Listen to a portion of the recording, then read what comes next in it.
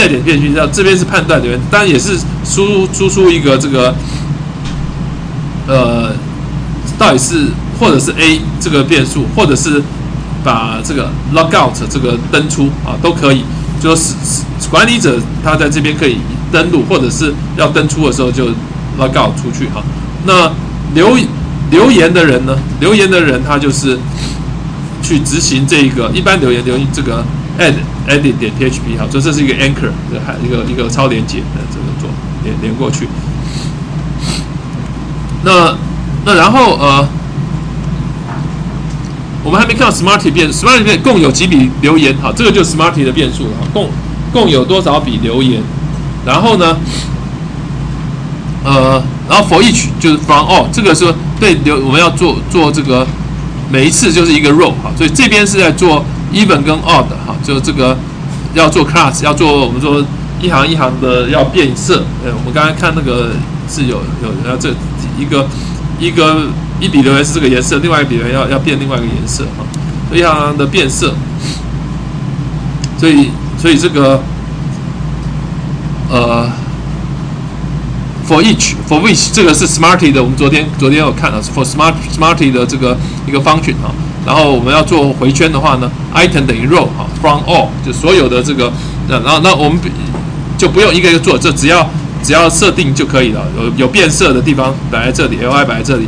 那下面是不是管理模式？哈，管理模式的话呢，叫显示、删除跟编辑的功能。所以看看是不是呃呃管理模式啊？如果是 admin 呢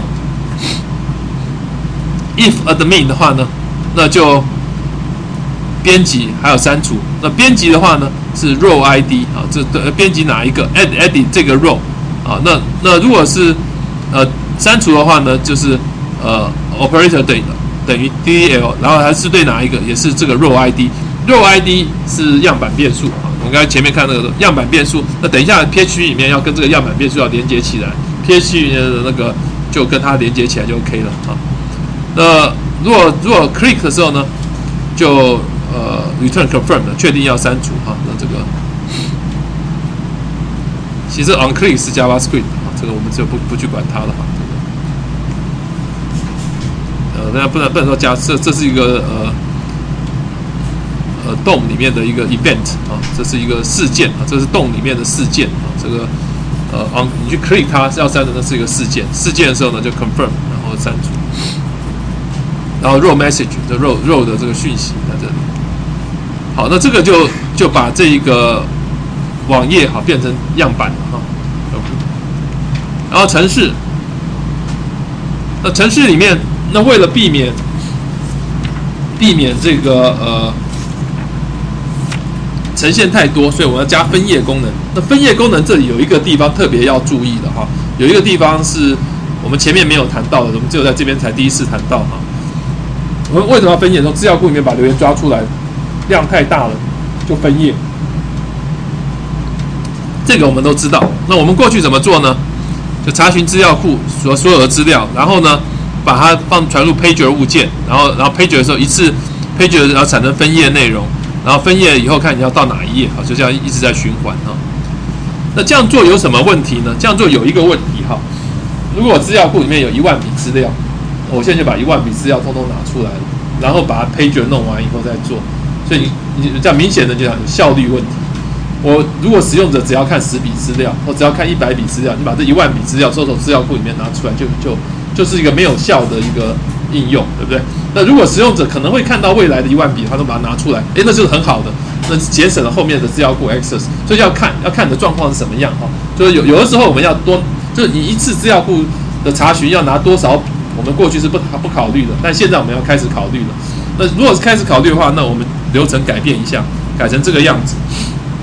十五至十三页下面这个哈，这个这稍微注意一下哈，就这个这个时候做什么呢？就是执行层要取得目前的页码，然后再查询资料库，取得目前页码范围内的，譬如说十一页到十一笔到二十笔啊，就你不不看看现在它第几页，那然后把它相近的前后的这些抓资料库抓抓出来，你不要一次把这一万笔通通抓出来哈，那或者是抓一百笔前后五十笔对，或前后多少笔，那这样子这样子的话，你就不需要不需要这个呃一次抓太多。啊，然后使用者他到前后的时候，他可以也可以也可以找得到他要找的那呃那些资料啊，那那这个这个就是我们考虑到效能的城市写作。那过过去我们一开始在写资料库的时候，反正一次就把它全部抓出来，然后再来看，反正没有多少笔嘛，啊，就这样做。可是如果你在大的资料库里面，或者是呃笔数比较多的，那这个时候我们大概用这种方法做啊。所以这个这边的这个例子啊，它的分页功能有考虑用。呃，用上一次步骤取得资料呢，建立目前页码的分页内容啊，然后目前页码传到 page 物件啊，产生分页连接哈，然后分页连接再选择这个 page ID 哈，要浏览页码，就就是它它这个不是一次全部做所有，它考虑了现在的这个页页码相关的这些资料，来把它抓资料库里面抓进来哈，那这个是蛮呃算是蛮重要的一个部分了。那好的城市设计师哈，好的设计就会做这个。不好的设计，你会发现为什么那么慢啊？就是会怎么会有出问题呢？就是不考虑这这这这个呃资料库的负担的哈。好，那那再来就呃看这个点 PHP 的哈，就就是这个我们这边的呃主程式啊。刚才看 index 点 TPL，那这个主程式里面的逻辑当然就是这个样子，就取得。就因为我们要取要取得分页，分页主要是分页比较啰嗦一点，取得目前页码页码的范围内的留言资料哈，啊读出各留言的资料啊，设定分页参数啊，取得分页连接，然后显示留言啊，所以我在分页的地方呢，做的比过去要复杂一点，但是就就就资料库而言呢，它的效率会比较好一些。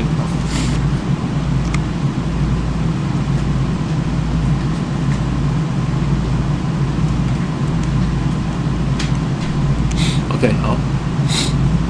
那那那这个呃，城市一样哈，城市当然有有些很基本的，就是 include 进来 require once 啊，这些东西该该包含进来就把它包含进来哈。那我们用到资料库，用到 Smarty 哈，用到 Pager 哈，这这几个 pair 的套件哈，呃呃，那这个这资料没有用到 MDB two 的哈，资料库 Smarty 跟这个呃有有 MDB two 哈，DB 有 MDB two，那然后呃。